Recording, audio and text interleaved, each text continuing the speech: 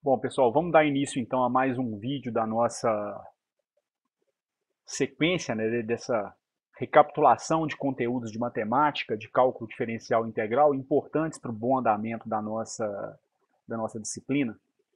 Esse é um vídeo que eu vou apresentar para vocês alguns aspectos de uma operação que nós podemos entender como sendo o inverso da operação da derivada. Tá certo? Em geral, toda operação na matemática ela admite uma operação inversa.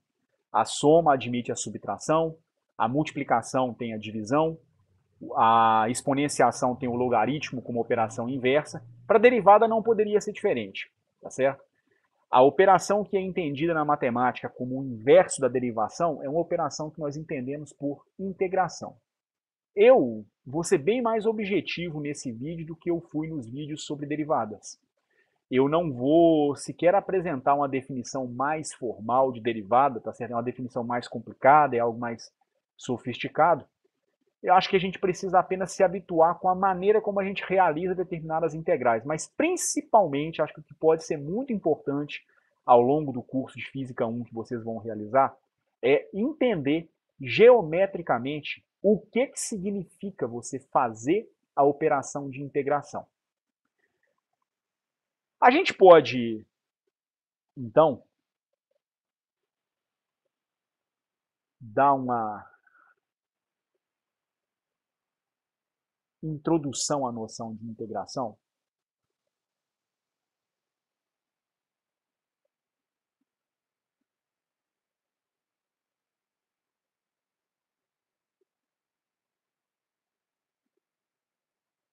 Através do seguinte diagrama. Vejam só. Eu vou tomar aquela curvinha que eu cansei de desenhar em outros, em outros vídeos, em outras aulas uma curva que tinha mais ou menos esse comportamento aqui. Então, digamos que seja uma função f de x, dependendo de uma variável x. Pode ser, por exemplo, posição em função do tempo, velocidade em função do tempo, algo assim. Quando a gente tratou da derivação, nós estávamos na derivação preocupados em obter a inclinação de uma reta tangente à curva em cada ponto da curva. Então, aqui, por exemplo, a reta tangente à curva teria esse formato, essa inclinação.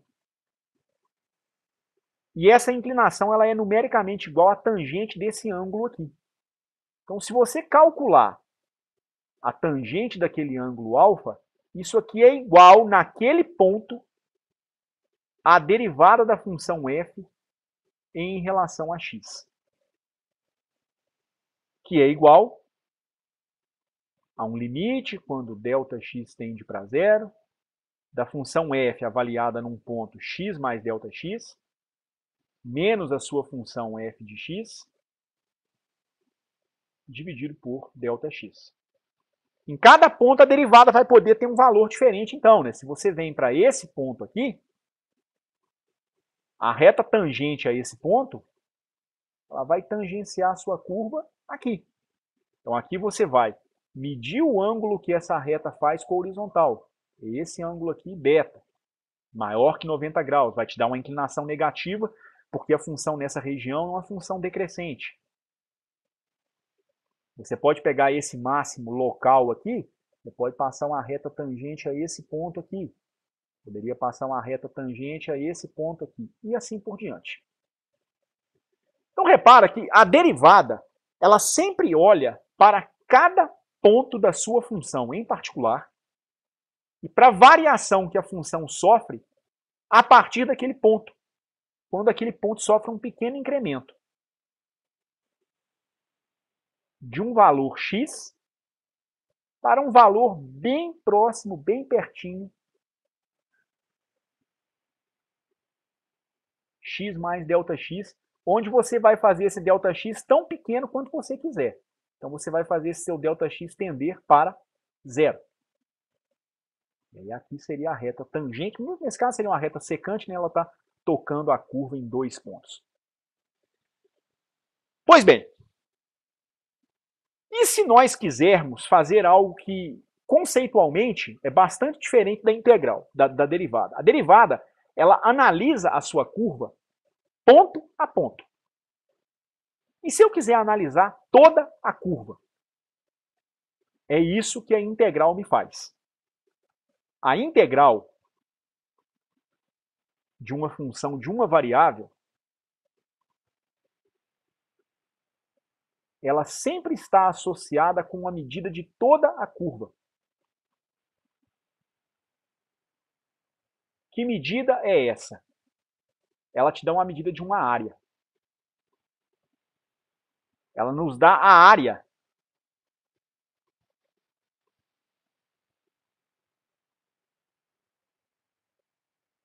entre a curva e o eixo horizontal. Isso quando a função é de apenas uma variável. Se for função de mais de uma variável, ela pode dar área, pode dar volume, enfim, aí vai depender, tá certo? Mas não é o que a gente vai ter no nosso curso de Fundamentos de Mecânica ou de Física aplicada a Biosistemas, igual é na zootecnia, tá certo? Ou Física, como é o nome da matemática, tá certo? Para nós a gente tem a área, a área entre a sua curva e o eixo horizontal. Então a gente poderia entender o seguinte.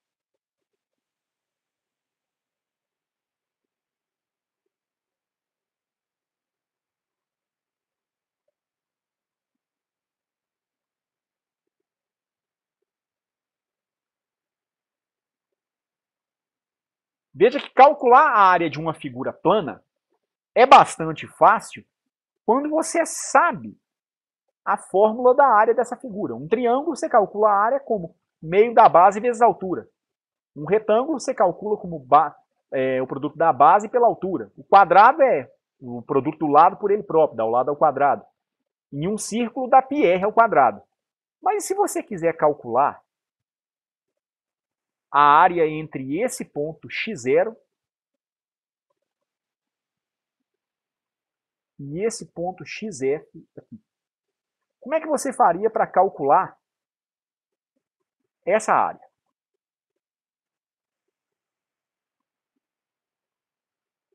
Você não tem uma fórmula pronta para calcular isso aqui. Calcular a área dessa região. E é isso que a operação de integração faz para você. Pelo menos se for a integral de uma função de apenas uma variável de x em função de x. Intuitivamente, o que, que você faz? Imagine que você é um pedreiro e você precisa assentar o piso, um piso em uma determinada região. O que, que você faz antes? Para você saber a quantidade de piso, você tem que saber a área do seu cômodo. Então, no final das contas, é como se você fosse preencher o espaço entre essa curva e o eixo horizontal com uma série de lâminas de madeira ou de cerâmica, enfim. Cada lâmina dessas tem a forma de um pequeno retângulo.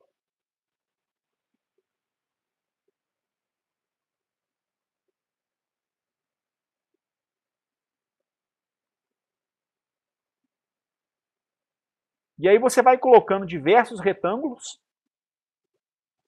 debaixo da sua curva, você calcula a área de todos esses retângulos e isso vai te dar uma estimativa, uma aproximação para a área debaixo dessa curva. Por que, que não está dando o valor exato? Porque a gente pode perceber que para cada retângulo desses que a gente coloca aqui, está havendo uma sobra, né? Está havendo uma sobrazinha aqui, aqui, aqui. Se você for trabalhar como pedreiro e colocar um piso dessa maneira, com certeza você vai ser demitido, né? Porque vai ficar feio demais por conta desses espaços que você vai deixar aqui sem colocar piso ou um monte de recorte muito feio. Então, para você poder preencher a área entre essa curva e o eixo horizontal, o que, que você deveria pensar? A melhor maneira de fazer esse preenchimento seria imaginar que a largura dessa, de cada lâmina dessas aqui, que eu vou chamar de delta x, se tornasse extremamente pequena. Bem pequenininha mesmo. De maneira que isso aqui quase que se aproximasse de uma linha. Então vamos imaginar que ao invés de uma área, uma largura apreciável de tamanho delta x, vamos imaginar que eu faça esse delta x tender para zero. Se esse delta x tende para zero, ou seja, se esse seu retângulo vai ser muito estreito, mas tão estreito quanto a gente puder imaginar, essa minha curva, ela seria preenchida de uma maneira muito mais precisa. Podemos pensar dessa forma.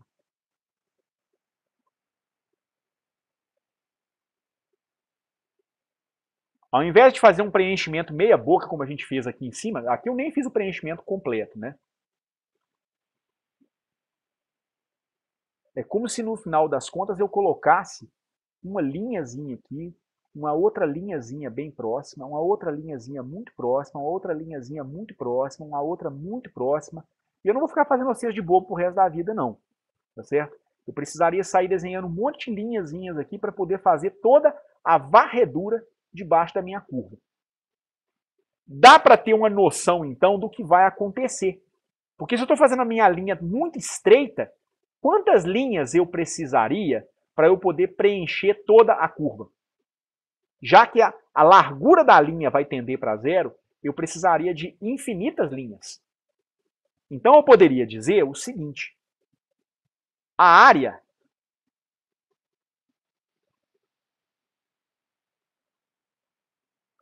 entre a curva e o eixo, ela seria interpretada como uma soma das áreas de todas as linhas debaixo da curva.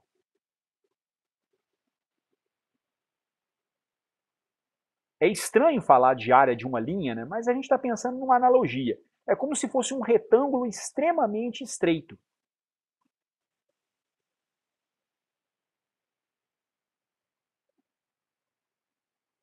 Como é que você calcularia a área dessa linha? Cada linha dessas aqui ela possui uma largura muito pequena, que é um ΔX bem pequenininho, e possui uma altura, que é o valor da função aonde a linha está passando na curva. Então é como se você imaginasse que isso aqui fosse um pequeno retângulo. Mas é um retângulo onde a largura é estreita demais. Como que você calcula a área de um retângulo? A área de um retângulo é calculada como produto dos dois lados. Então você tem a sua linha, aonde a altura é o valor da função naquele ponto em que a, a linha tocou a sua curva.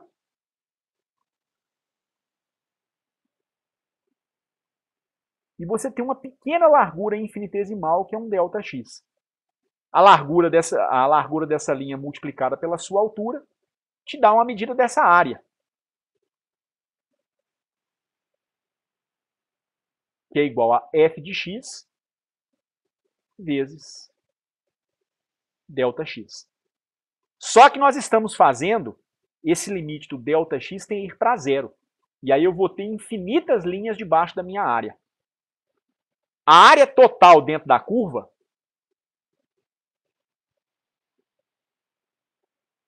ela seria dada na forma de um somatório.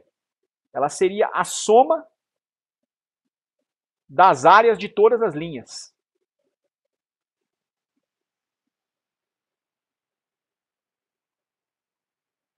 Linhas aqui entre aspas, porque no fundo eu estou pensando num retângulo que é extremamente estreito, né? Mas ele fica sendo visualizado nessa figura que eu estou construindo como uma linha, tá certo? Ora, essa área, ela é igual então a um somatório em que eu tenho o número de linhas indo de 1 até infinito do produto do f de x vezes a largura ΔX. No fundo, você vai ter uma quantidade absurda de linhas entre a curva e o eixo. Então você deveria pensar num limite. Aqui o melhor é colocar um índice n aqui em cima, e você vai tomar o limite em que esse nzão tende para infinito.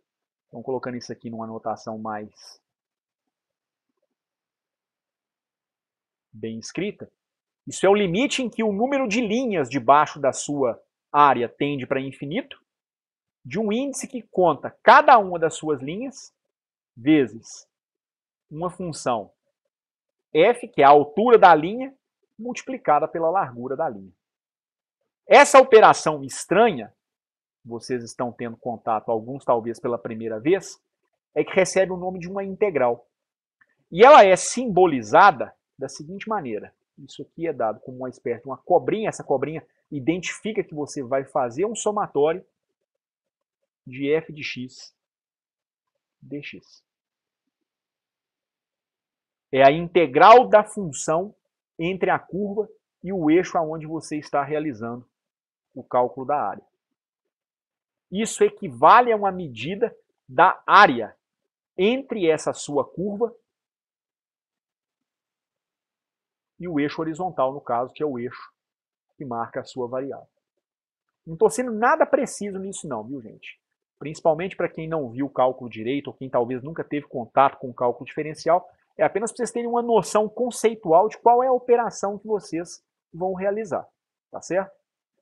Qual a conexão que isso possui com a derivada? Na verdade, é possível mostrar, mas eu não vou fazer isso nesse nosso pequeno vídeo, que a derivação e a integração são, são operações inversas uma da outra.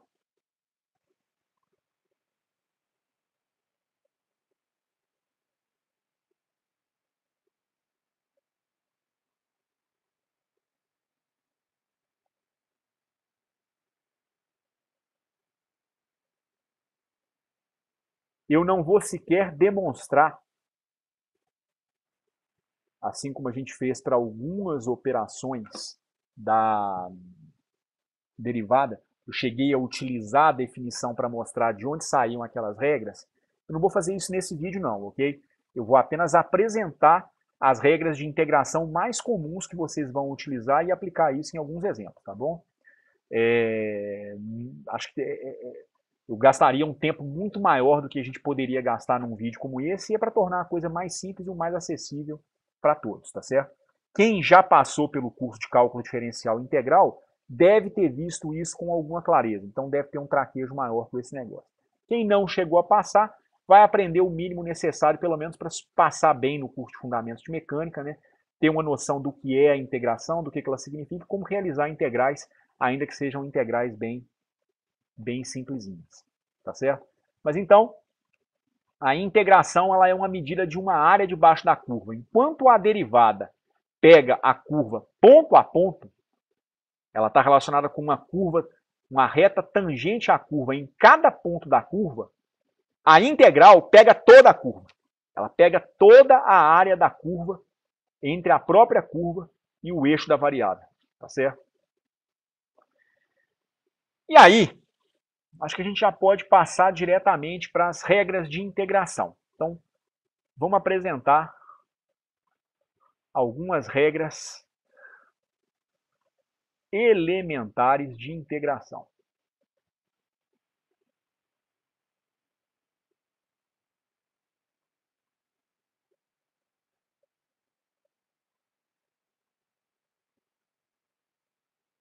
Primeiramente, Quanto será que dá a integral de uma potência? Nós vimos que a derivada de uma potência em relação à sua variável está relacionada com você descer o expoente e subtrair uma unidade do expoente original.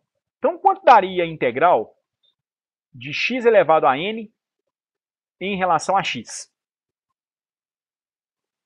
Isso aqui dá x elevado a n mais uma unidade dividido por n mais uma unidade.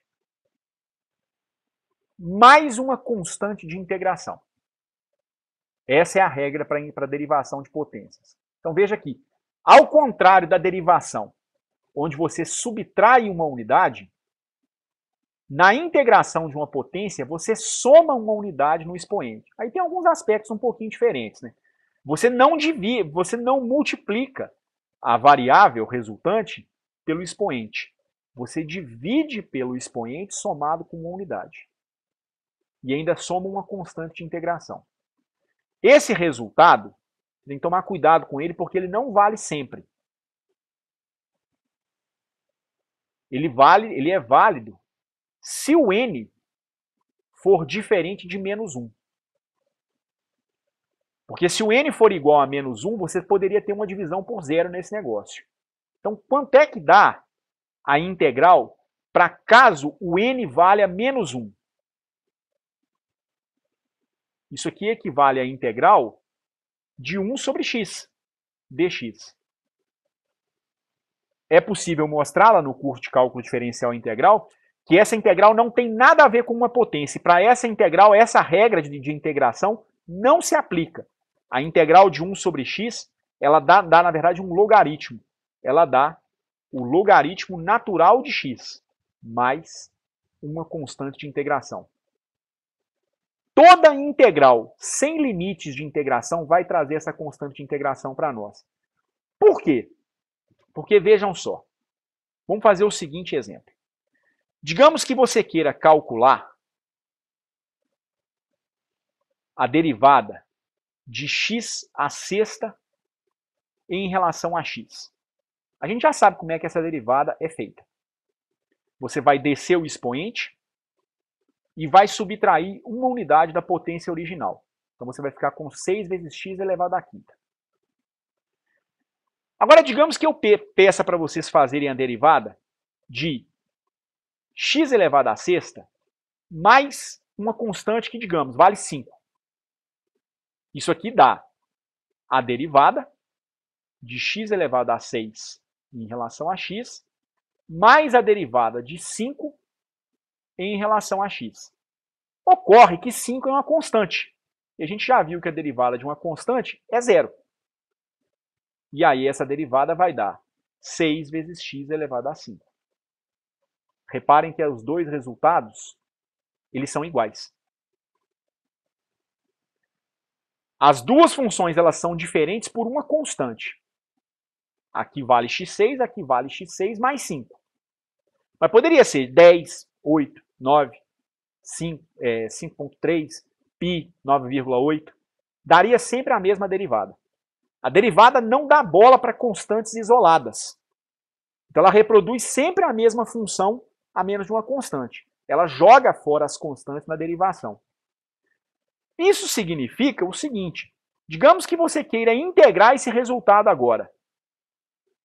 Na hora que você vai integrar 6 vezes x elevado a 5 dx, você já pode pensar o seguinte: o que você vai fazer com esse 6?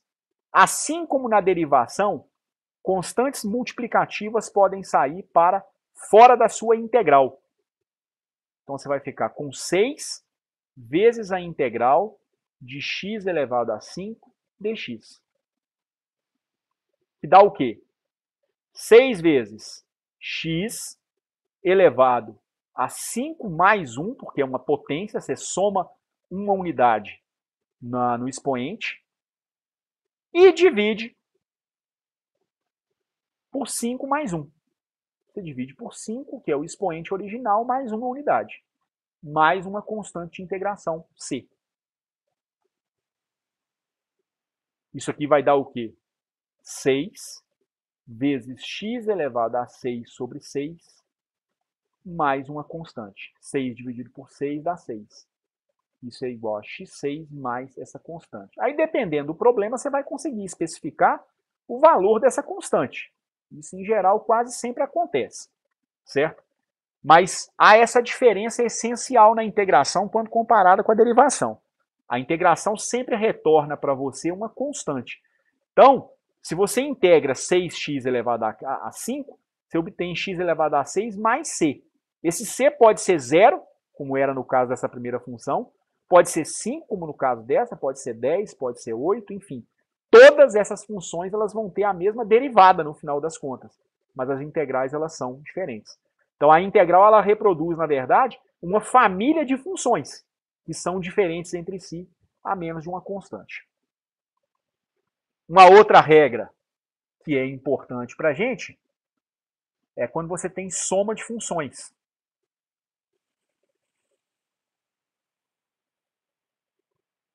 Vale a mesma coisa do que acontece na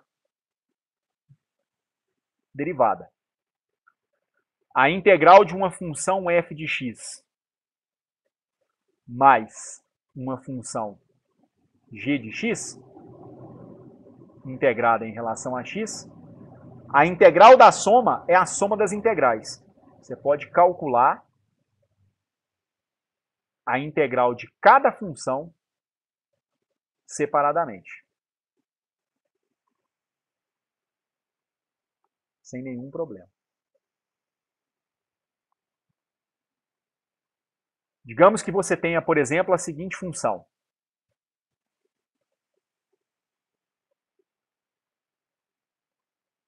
g de t igual a t ao quadrado mais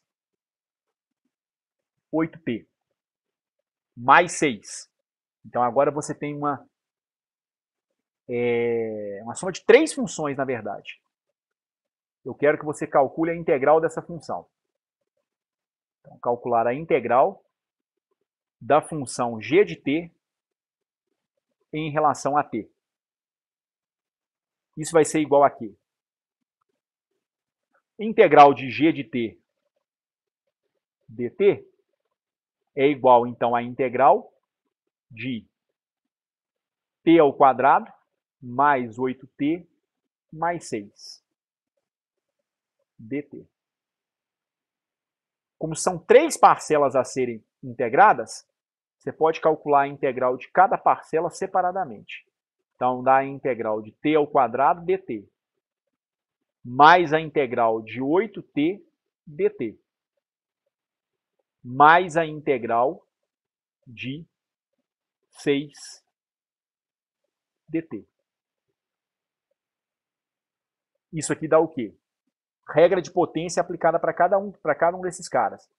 Aqui você tem que a integral de t elevado a n, dt, ela é igual a t elevado a n mais 1 dividido por n mais 1, mais uma constante de integração c.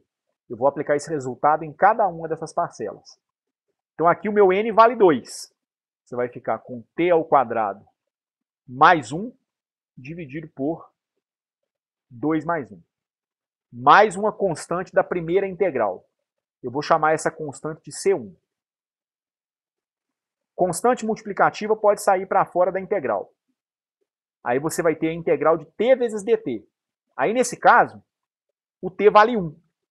Então você vai ficar com t elevado a 1 mais 1, seguindo a regra de integração para potências, dividido por 1 mais 1.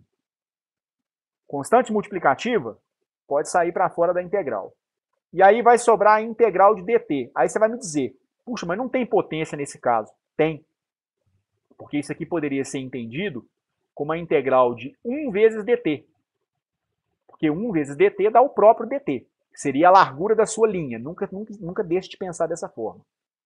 Acontece que todo número elevado a zero é igual a 1. Então eu poderia escrever esse meu algarismo 1 como sendo t elevado a zero dt. Pronto, virou uma potência. Aí na regra de potência o que, que você faz? Soma uma unidade no seu expoente e soma uma unidade no expoente no denominador. Aqui haveria uma constante C2 para essa segunda integral. Aqui haveria uma constante C3 para essa terceira integral. Então você vai ficar com 2 mais 1 dá 3, 1 terço de T3, mais 1 mais 1 dá 2. 8 dividido por 2, 4 vezes t elevado a 1 mais 1, que é t ao quadrado. 0 mais 1 dá 1, 6 dividido por 1 dá 6. 6 vezes t. E t elevado a 1 dá ele próprio. Mais C1 mais C2 mais C3. C1 somado com C2 somado com C3 é uma soma de três constantes, que vai dar uma constante total de integração, que eu vou chamar de Czão. Eu nem precisava então ter colocado uma constante para cada integral. Mas conceitualmente é isso que você faz no final das contas. Né? Cada integral lhe retorna uma constante. Soma-se todas as constantes, você vai obter uma constante total. Então a integral da função g de t dt é igual a t3 sobre 3 mais 4t ao quadrado mais 6t mais uma constante c. Agora vamos fazer um exemplo numa outra direção. Vamos imaginar que a gente queira fazer o seguinte. Digamos que eu tenha a parábola y igual a x ao quadrado. E eu quero calcular uma área. Calcule a área entre a curva y igual a x ao quadrado e o eixo x entre x igual a 2 e x igual a 4. Vamos entender bem esse exemplo então e ver como que a integral vai nos ajudar. Primeiro vamos entender que curva que é essa. Trata-se de uma parábola, porque é uma curvinha do segundo grau. Então você tem uma função do segundo grau como essa aqui. Vamos imaginar que o formato dela seja exatamente esse. Eu quero calcular uma área entre essa curva, que é a curva y igual a x ao quadrado, mas não é em toda a curva que eu quero fazer o cálculo, não. Eu quero fazer o cálculo da, da área entre dois valores de x. O x está medido aqui no eixo horizontal. Eu quero calcular essa área entre o x valendo 2 e o x valendo 4. É isso que eu quero. Em outras palavras, a região em que eu quero calcular a área é, na verdade, essa região aqui. Ó. E isso vai ser obtido por meio de uma integração. Você não tem uma fórmula pronta, como é para um retângulo, um círculo, um quadrado, né, um trapézio, para poder fazer o cálculo da área de uma figura como essa aqui. Então, a medida dessa área ela é dada exatamente pela integral da curva no intervalo proposto. Isso é o mais importante que vocês vão precisar saber do ponto de vista conceitual sobre a integral nesse nosso curso de Fundamentos de Mecânica. Só que a integral que nós temos nesse caso não é uma integral onde a constante de integração vai aparecer. Essa integral, ela é limitada dentro de um certo intervalo. Ela vai começar a ser feita em x igual a 2 e ela vai terminar em x igual a 4. Essa integral é o que nós chamamos de uma integral definida. Os exemplos anteriores eram exemplos de integrais indefinidas, porque são integrais aonde você não coloca limites de integração. Se você estipular o limite de integração, a integral ela vai se tornar uma integral definida, definida dentro de um determinado intervalo. Então, como é que você vai calcular essa área? A área, que eu vou chamar de azão, vai ser a integral da sua função f de x feita na variável x. Mas diferentemente do que eu fazia antes, eu vou impor a faixa aonde a integração vai acontecer. Então a integração ela vai ser feita entre x igual a 2 e x igual a 4. Quando você coloca o limite onde a integral começa e o limite onde a integral termina de ser calculada, você diz que a integral é uma integral dessa natureza. Ela é uma integral definida. E aí a gente vai ver que a integral definida faz com que a constante de integração desapareça. Os limites, eles não são importantes para a gente num primeiro momento, não. Então a sua função f de x é essa aqui, x ao quadrado, integrada na variável x. Ora, é uma potência. Como é que você vai trabalhar essa potência? Você vai trabalhar essa potência da seguinte maneira: o resultado dessa integral dá o mesmo de antes. Dá x elevado à potência original, que é 2, mais uma unidade, dividido pela potência original, somada com uma unidade. E, em princípio, você pode colocar a constante de integração. O que, que você vai fazer com esses dois limites? Aí está o x da questão você vai avaliar a integral no limite superior, que é x igual a 4, e no limite inferior. A área é dada pela diferença desses dois resultados. Aí você vai ficar com o seguinte.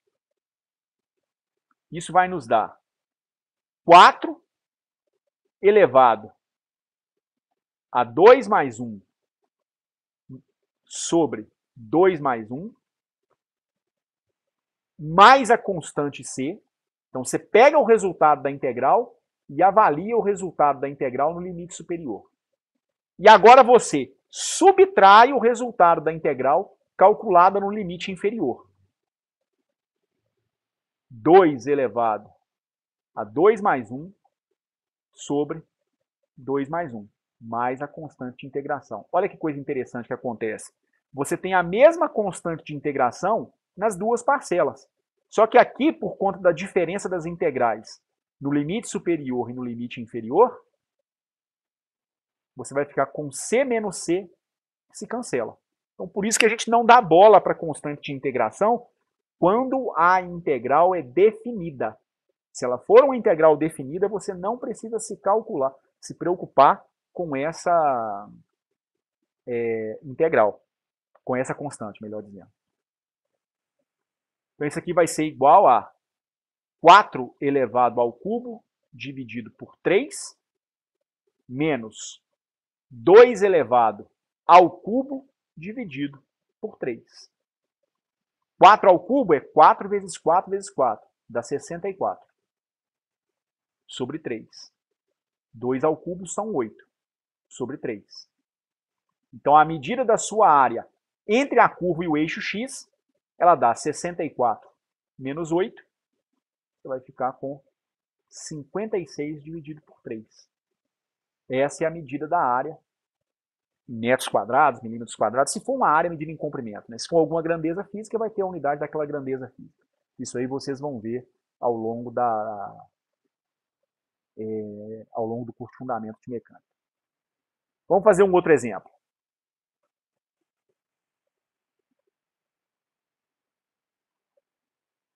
Próximo exemplo é esse aqui. De novo, é para a gente fazer o cálculo de uma área.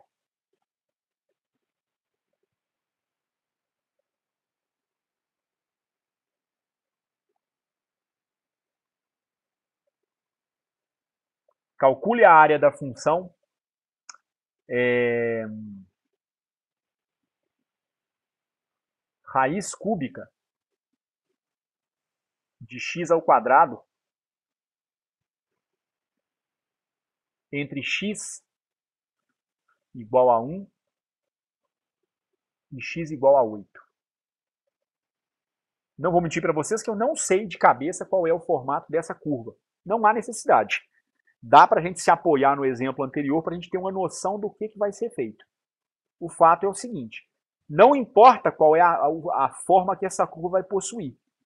A área ela vai ser dada pela integral avaliada entre x igual a 1 e x igual a 8 da função raiz cúbica de x ao quadrado. Como é que você vai fazer isso? Transforme sempre as raízes numa lei de potências. Então isso aqui poderia ser reescrito como sendo a integral feita de x igual a 1 até x igual a 8, de x elevado a 2 dividido por 3. É o expoente interno dentro da raiz, dividido pelo índice da raiz, integrado em x. Isso aqui dá quanto? Ora, mesma lei de potência de antes. x elevado a 2 sobre 3, mais uma unidade, dividido por 2 sobre 3, mais uma unidade. Posso colocar uma constante de integração, mas como no exemplo anterior, ela vai desaparecer quando ela for colocada para o limite superior e para o limite inferior. Então eu nem vou colocar mais uma constante de integração se a integral for definida.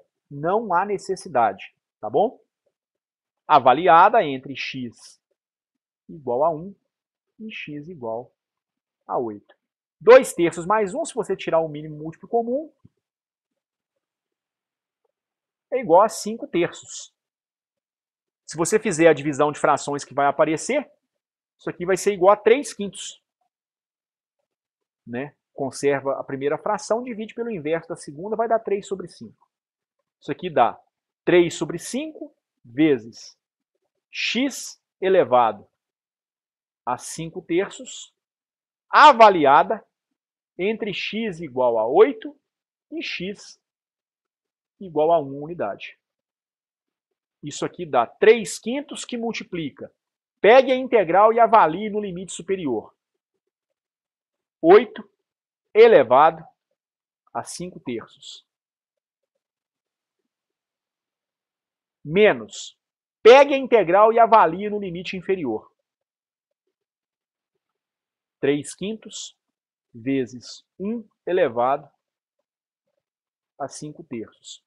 1 elevado a qualquer potência sempre dá 1. Então isso aqui vai me dar 3 quintos que multiplica 8 elevado a 5 terços menos 3 quintos. Poderia deixar até o resultado dessa forma. Quem é um pouquinho mais preciosista pode fatorar o termo 8 em potências de 2. 8 dividido por 2 dá 4, 4 dividido por 2 dá 2, 2 dividido por 2 dá 1, portanto 8 equivale a 2 ao cubo. Então isso aqui seria equivalente a 3 quintos, que multiplica 8, que é 2 elevado ao cubo, elevado a 5 terços, menos o próprio 3 quintos. 3 quintos é um fator comum às duas parcelas, eu vou colocar 3 quintos em evidência. E vou ficar com 2 terços elevado a 5 terços. Isso é uma potência de potência. Como é que você faz uma potência de potência? Você conserva a base e multiplica as potências entre si. Então você vai ficar com 3 multiplicado por 5 terços. Menos uma unidade. 3 pode ser simplificado com 3. Você vai ficar então com 2 elevado à quinta. A sua área, então, ela dá 3 quintos, que multiplica 2 elevado à quinta são 32, menos 1 unidade, 31. 31 vezes 3, 93 quintos. Se você fizer essa operação, você vai ver que isso aqui vai dar 18,6 unidades de área.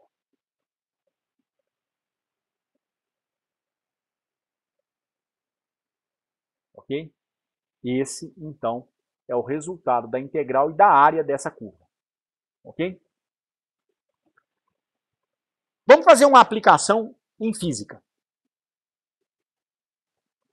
Olha só. Vocês vão aprender nas primeiras semanas do curso que existe uma relação entre posição, velocidade e aceleração. Na verdade, vocês vão aprender que a velocidade instantânea de um corpo ela é definida em termos de uma derivada. Nas primeiras aulas vocês vão ver que a velocidade ela é a derivada da posição do objeto em relação ao tempo.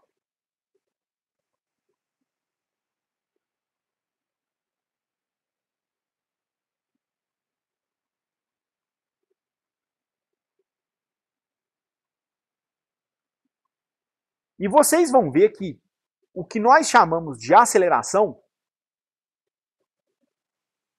também guarda relação com uma derivada.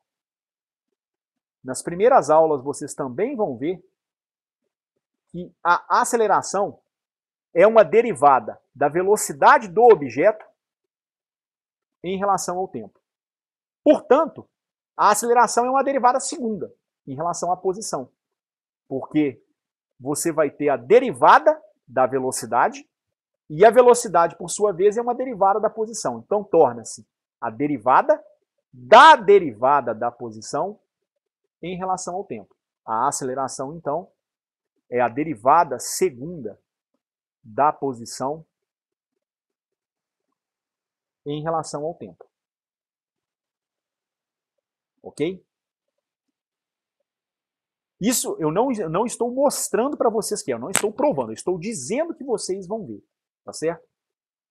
É claro que a partir disso, nós poderíamos rodar o filme ao contrário e pensar em obter as funções originais. Se nós temos que a velocidade é a derivada da posição em relação ao tempo, como que eu faria para obter a própria posição em função do tempo. A posição está aqui dentro da sua derivada. Então você tem que eliminar a derivada.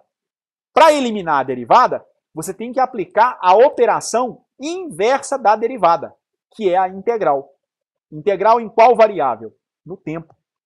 Porque você tem, nesse caso, funções temporais. Então, na verdade, você deveria proceder da seguinte maneira. Você vai multiplicar essa relação nos dois lados pelo incremento de tempo dt.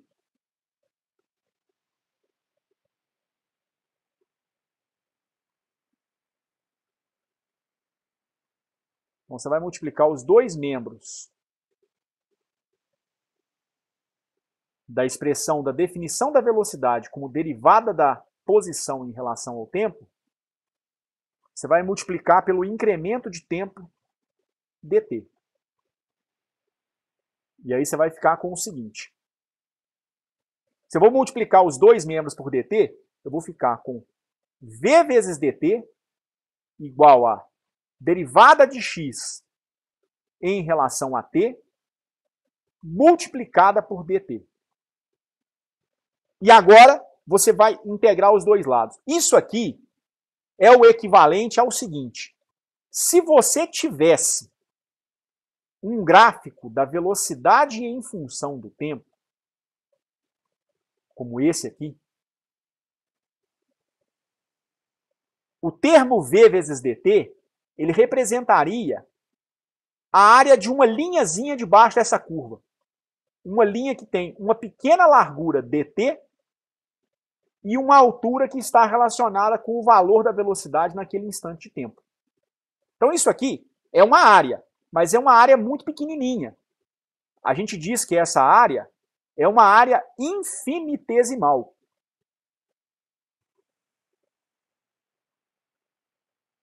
E para eu poder obter a área debaixo de toda a curva, aí é aquele processo de somar as áreas de todas as linhas que nós chamamos de integração.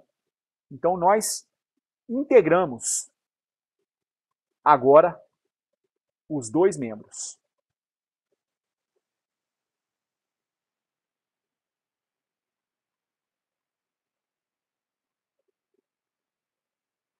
Então a gente vai ter uma integral da velocidade em relação ao tempo. Normalmente, na primeira parte do curso, a gente vai lidar com integrais definidas. Então, digamos que eu integre com o tempo valendo de um certo valor t0 até um certo valor t. Então, eu vou medir a área entre essa região aqui, ó, até chegar nesse instante de tempo t aqui. Então, você vai fazer o t indo de t0 até t. E aí, do lado direito, você tem a integral da derivada da função.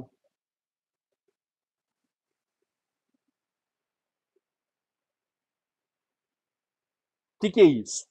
Integrar a derivada da função é desfazer a derivada. É eliminar a derivada. É como se eu pudesse, não é exatamente isso, mas é como se eu pudesse eliminar esse dt com esse dt aqui. Sobra a integral de dx. Eu digo que não é porque isso aqui não é uma fração, viu, gente? Isso é um símbolo para uma operação matemática. Mas a maneira como a gente representa essa operação da derivada, quando você multiplica por um com o dt, fica parecendo que isso é uma fração. Na verdade, isso aqui representa a variação espacial na posição.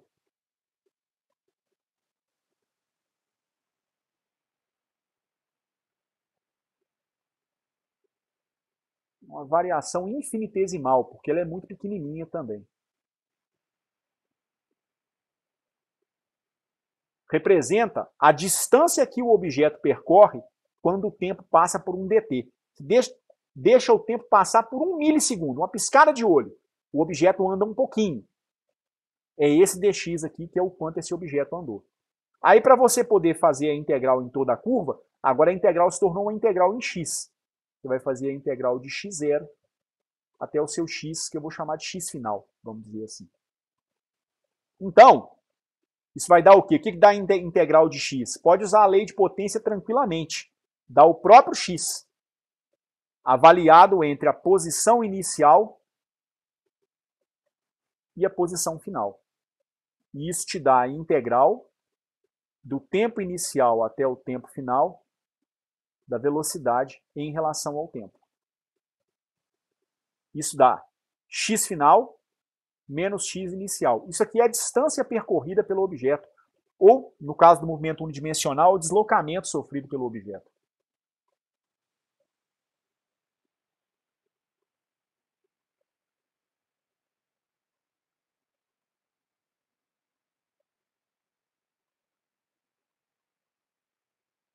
E isso é igual a um ΔX, que é igual à integral de t0 a tt da velocidade feita integrada em relação ao tempo. Será que isso realmente funciona? Lá no ensino médio, vocês aprenderam uma coisa que é o seguinte. Espera aí só um pouquinho, por favor.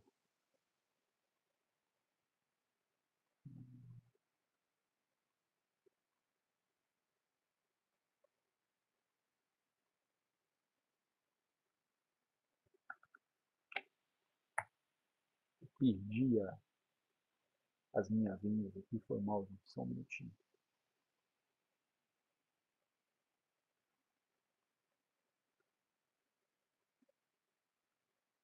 Ah, tudo bem, dá para sobreviver assim mesmo.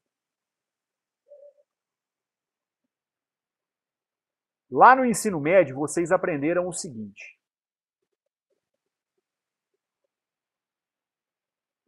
Lá na, no curso de. No primeiro curso de física, né, lá no primeiro ano do ensino médio, teve um movimento que vocês estudaram um bocado, devem ter estudado, que era o movimento retilíneo uniformemente variado.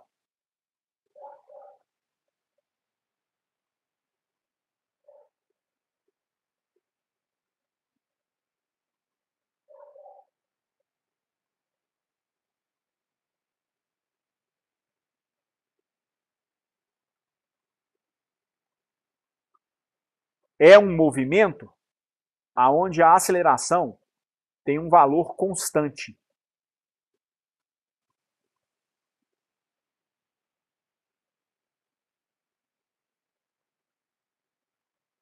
Vocês devem ter visto que a expressão da velocidade em função do tempo era a velocidade inicial do objeto mais o produto da aceleração pelo tempo.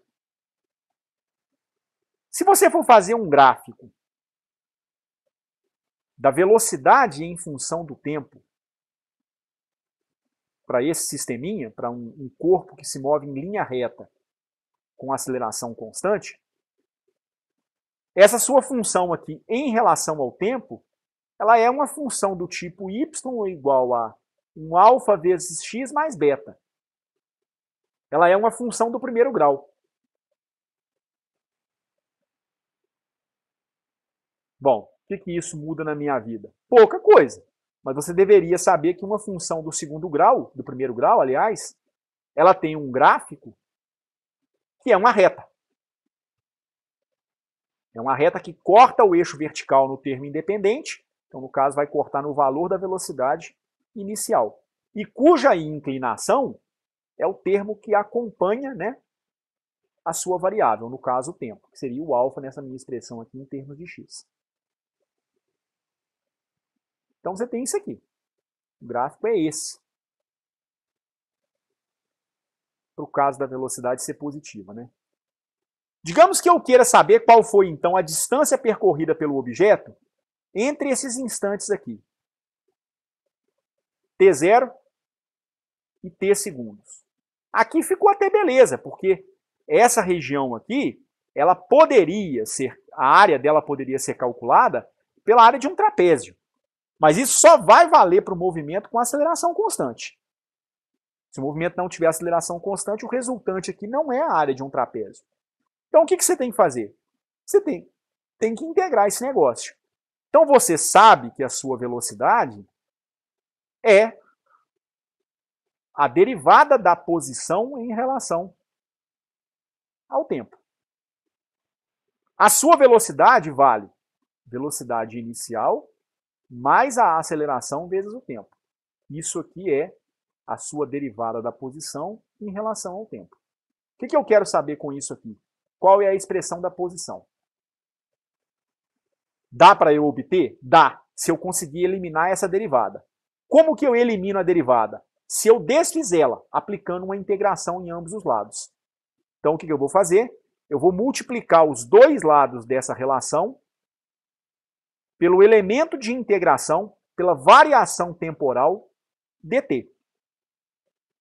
Multipliquei em dt à esquerda, tenho que multiplicar em dt pela minha direita também. Você até pode imaginar que isso aqui é uma fração e querer passar a faca no dt. Normalmente funciona, mas você tem que entender que conceitualmente não é isso. Na verdade, a derivada da posição em relação ao tempo, ou seja, a sua velocidade multiplicada pelo dt, te dá o deslocamento sofrido pelo objeto. Isso aqui é a tua velocidade. Velocidade multiplicada por tempo. Dá um deslocamento que eu vou chamar de dx. E aí agora você integra em ambos os lados. Então eu vou integrar em dx, e isso vai ser igual à integral de v0 mais a aceleração vezes o tempo integrada no tempo. Feita.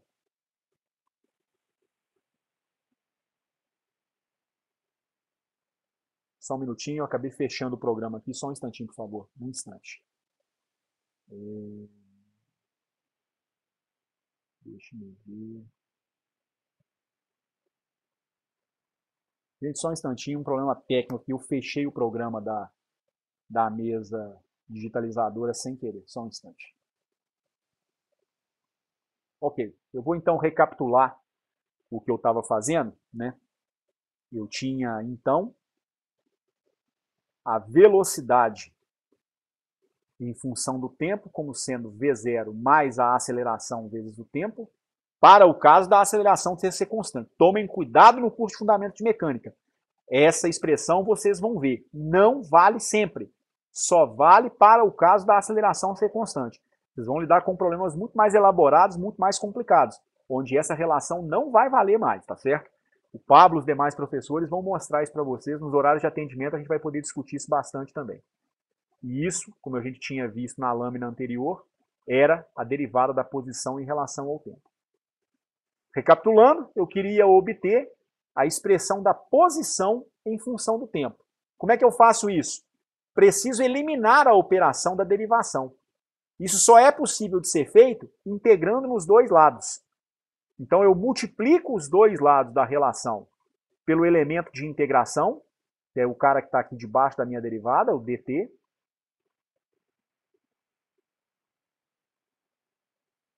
E aí eu interpreto esse produto da velocidade por esse deslocamento, né? Isso aqui na verdade é um, pelo tempo, pelo elemento de tempo dt, é um pequeno deslocamento dx tudo se passa como se eu pudesse tratar isso como uma fração e cancelar o dt com o dt. Mas não é exatamente isso não, tá certo? Tomem cuidado. Então eu vou fazer a integral em dx, de x0 até x, posição inicial até posição final, e isso vai ser igual à integral da velocidade inicial mais a aceleração vezes o tempo, integrado no tempo, de um tempo t0 até um tempo t. Esse tempo t0 normalmente é assumido como zero. Não tem que ser. Mas vamos imaginar que você vai disparar o seu cronômetro em t igual a zero segundos. Tempo inicial, então, seria zero.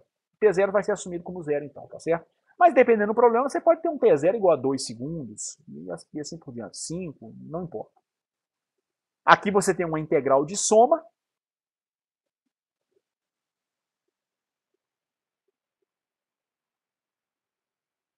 Que é a soma das integrais. Ambas feitas de t0 até t. A integral em dx dá simplesmente x, avaliada entre posição inicial e posição final. A velocidade inicial do objeto é uma constante. Ele parte com um certo valor, depois ele vai aumentar essa velocidade. Constante multiplicativa pode sair para fora da integral. Isso dá a integral da V0 vezes a integral de dt de 0 até t segundos. Nós estamos tratando uma situação em que a aceleração também é constante. Pode jogar para fora da integral também. Aí vai sobrar a integral de t dt, feita de t0 igual a zero até t segundos. x avaliado em xf é simplesmente posição final. Menos é limite superior, menos inferior. Né? x é x0, que é a posição inicial, V0 vezes integral de dt dá simplesmente t, usando a lei de potências, avaliada entre 0 e t segundos. Integral de t dt, integral de t dt é igual a t ao t elevado a 1 mais 1 sobre 1 mais 1, ou t ao quadrado dividido por 2, avaliado entre 0 e t. Isso dá, dá o que então? Posição final é igual a posição inicial mais. Quando o tempo é zero, você vai ter V0 vezes zero e zero ao quadrado sobre 2 vezes A. Esses dois caras vão rachar fora. Vai dar posição inicial mais velocidade inicial vezes o tempo, mais meio da aceleração vezes o quadrado do tempo. Tenho certeza que vocês já devem ter visto essa expressão aqui em algum momento ao longo da formação de vocês, nem que tenha sido no ensino médio, tá certo? Então, a expressão da posição é obtida a partir da velocidade por integração. Vocês vão ver isso com mais detalhes na, nas primeiras aulas do curso, provavelmente na primeira e na segunda semana do curso. Tá certo? Um outro aspecto importante diz respeito à velocidade. A velocidade, ela é, melhor dizendo, a aceleração, ela é a derivada da sua velocidade em relação ao tempo. Então, digamos que você tem uma curva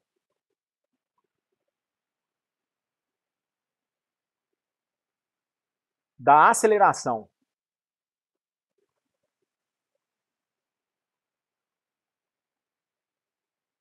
Em função do tempo, como essa aqui.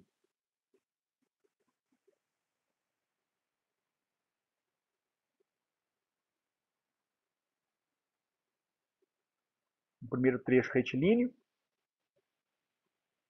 Depois ela cai dessa maneira aqui. Alguma coisa desse tipo. Tá certo?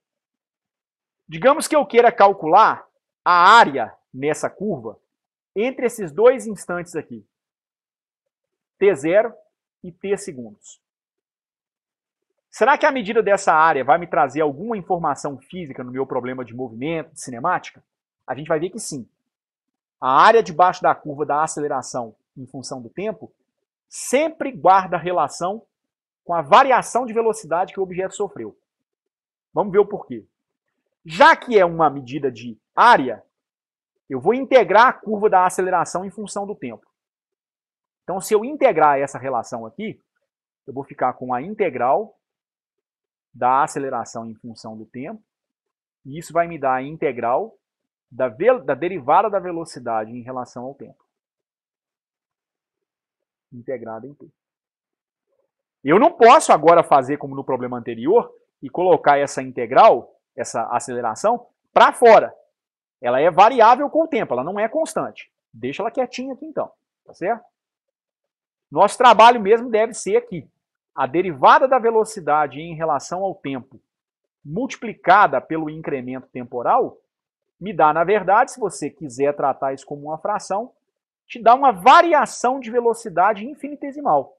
O tempo passa um pouquinho, a velocidade também varia um pouquinho, de uma pequena quantidade dv. E é assim que você calcularia esse dv. É o produto da derivada da velocidade em relação ao tempo pela variação temporal pequenininha, o dt. Mas a variação infinitesimal seria a variação que a velocidade sofreria numa linhazinha, num pequeno lapso temporal dt. E se eu quiser saber a variação da velocidade em toda essa faixa, de quantos metros por segundo ou de quantos quilômetros por hora a velocidade variou nessa faixa, eu tenho que calcular as variações em todas as faixas e somar. E é isso que corresponde à operação da integração. Tá certo? Sabendo que o produto da derivada da velocidade em relação ao tempo, pelo incremento de tempo, me dá a própria variação da velocidade, isso aqui então é a integral de dv, feita entre um valor v0 e um valor v. Mudou a variável de integração, gente. então você vai mudar o limite também. Ok? Antes, integrando no tempo, o limite de integração era nos instantes de tempo. Eliminei o tempo com esse procedimento que eu fiz aqui. Aí agora o limite de integração vai passar a ser na velocidade. Vocês vão ver isso ao longo das, das próximas semanas. A integral de dv dá o próprio v, seguindo a lei de potências, avaliada entre v0 e v. Isso aqui me dá a integral da aceleração feita em relação ao tempo entre t0 e t segundos.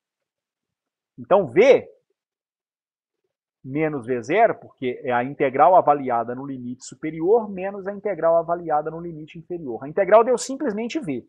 Então vai dar v de t, vamos dizer assim, né?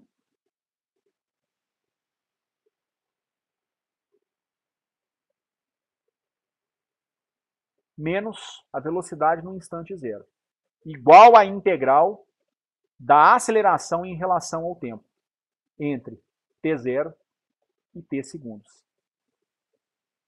v de t menos v0 é uma variação de velocidade, é um ΔV. E isso, então, é a integral da aceleração feita em relação ao tempo, entre t0 e t segundos. Reparem que se a aceleração for constante,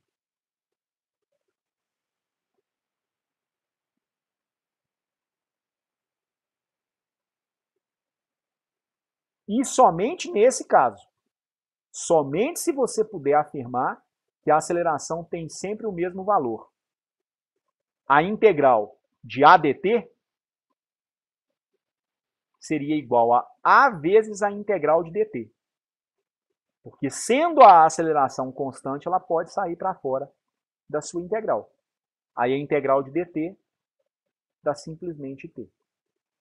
Aí você vai ficar com o resultado que você deve ter visto lá no ensino médio também. É esse aqui. Ó. Isso aqui vai dar A vezes T, avaliado entre, eu vou de novo colocar o T0 igual a 0 segundos, e T v de t menos v0 é o produto da aceleração pelo tempo.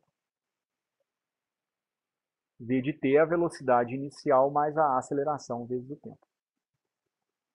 Que é a expressão da velocidade em função do tempo no movimento retilíneo uniformemente variado.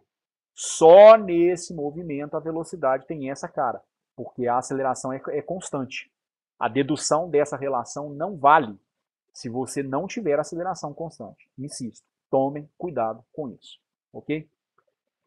Quer dizer então que você sempre vai ter que ter uma integral para calcular uma variação de velocidade? Pode ser que sim, mas não quer dizer que você sempre tenha que fazer isso. Vamos ver esse exemplo aqui.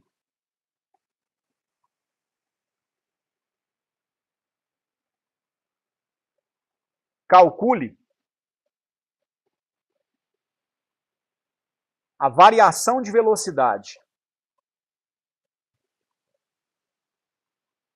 sofrida por um objeto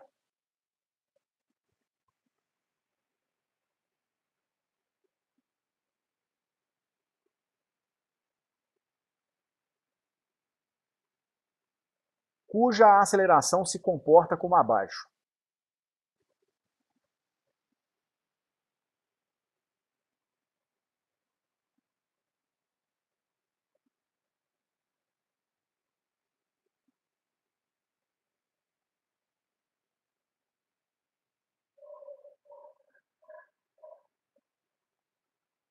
Então, digamos que eu dou um problema do nosso livro-texto, traz para vocês um gráfico da aceleração em função do tempo, como esse aqui. A aceleração cresce até atingir um determinado valor, certo? Depois ela decresce e ela vai decrescer seguindo uma reta, nos dois casos, tá certo? Digamos que esse valor máximo da aceleração seja de 10 metros por segundo ao quadrado. Digamos que eu queira calcular a variação de velocidade nesse intervalo aqui. T0 igual a 1, com o tempo medido em segundos, e T0 igual a 7.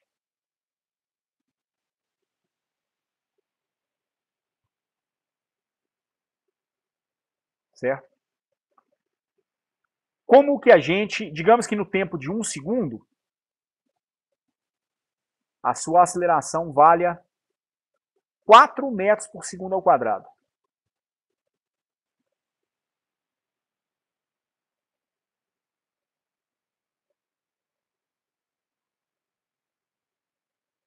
Digamos que no tempo de 7 segundos, ela é até maior que em 1 segundo, mas ela está caindo, ela tem uma tendência de queda. Digamos que aqui ela valha 6 metros por segundo ao quadrado.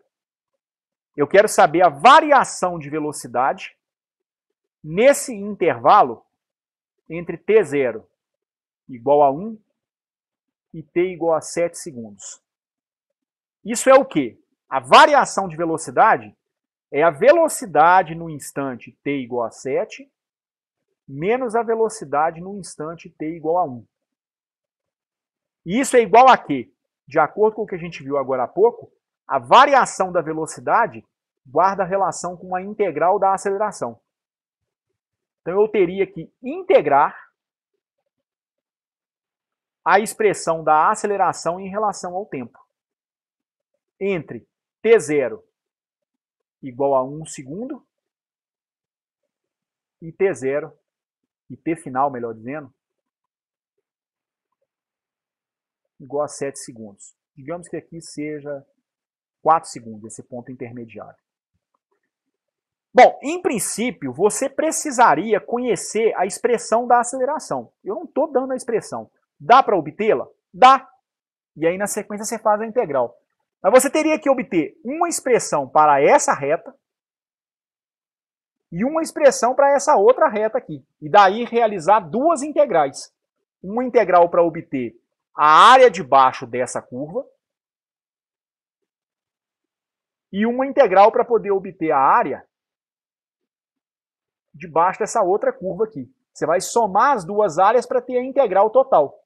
E isso vai te dar a variação de velocidade. Precisa? Nesse exemplo, não precisa. Porque as duas áreas que você, que você obteve aqui são áreas de trapézio. Basta calcular a área dos dois trapézios e somar. Isso vai te dar a variação de velocidade. Então a área 1, vamos colocar dessa forma, ela delimita um trapézio que vai de t igual a 1 segundo até t igual a 4 segundos. Então é um trapézio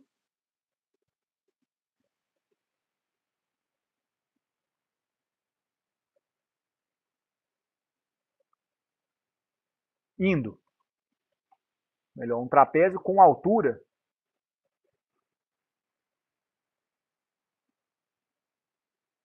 que vai de t igual a 1 segundo a t igual a 4 segundos. a altura não mediria aqui na vertical, não? Não.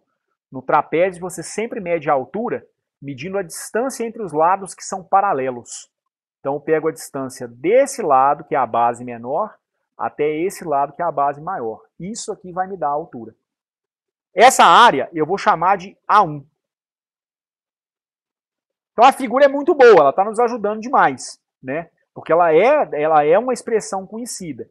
Isso aqui é dado pela base maior do seu trapézio, mais a base menor do seu trapézio, vezes a altura que eu vou chamar de h, dividido por 2. É a expressão geral da área de um trapézio. Base maior é o maior lado paralelo do trapézio. Eu supus no nosso problema que vale 10. Base menor na primeira área, 4. Altura, distância entre as duas bases, 3. Dividido por 2. 10 mais 4, 14. 14 por 2, 7 vezes 3, 21. E a área 2? É a área de um outro trapézio. Tá certo? Trapézio que vai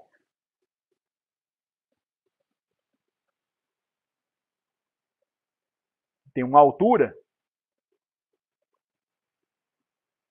que vai de t igual a 4 segundos até t igual a 7 segundos. Repara que, conceitualmente, você está realizando uma integração.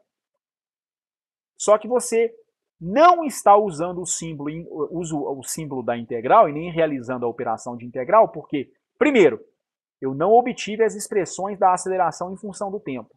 E segundo, é uma curva conhecida. É uma curva cuja forma é um trapézio, ou melhor, uma soma de dois trapézios. Né?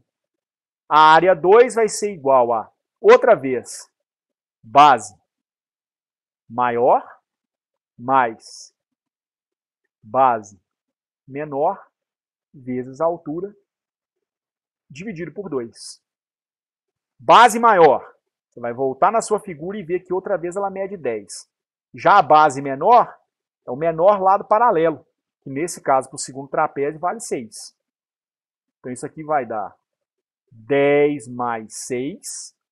A altura, ela se estende de 4 a 7 segundos. Ela de novo vai dar 3, dividido por 2. 10 mais 6, 16. Por 2, 8. Vezes 3, 24. Qual é então a sua área total? É a soma das áreas A1 mais A2. 21 mais 24, ou 45. Isso equivale a fazer o cálculo da integral da aceleração em função do tempo.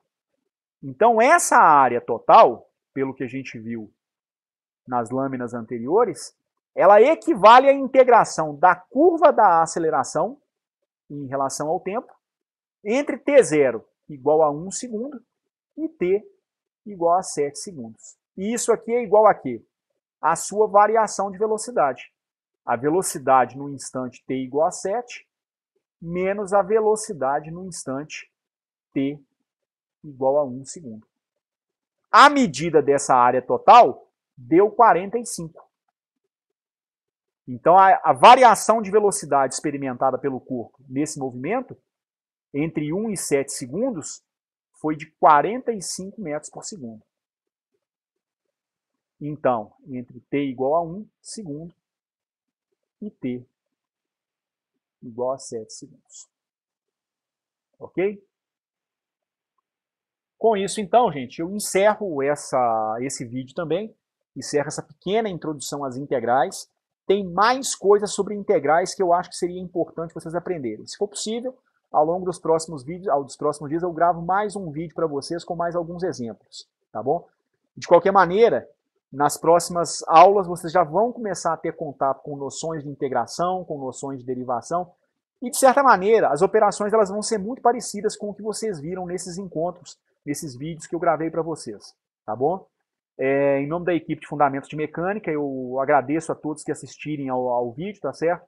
As críticas elas são bem-vindas, podem entrar em contato com a gente, com críticas, sugestões, com dúvidas, principalmente com dúvidas, sempre que necessário, entrem em contato com a gente, tá legal?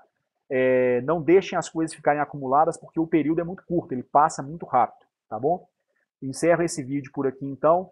Nos próximos dias a gente se fala novamente, tá joia? Um abraço para vocês, até mais.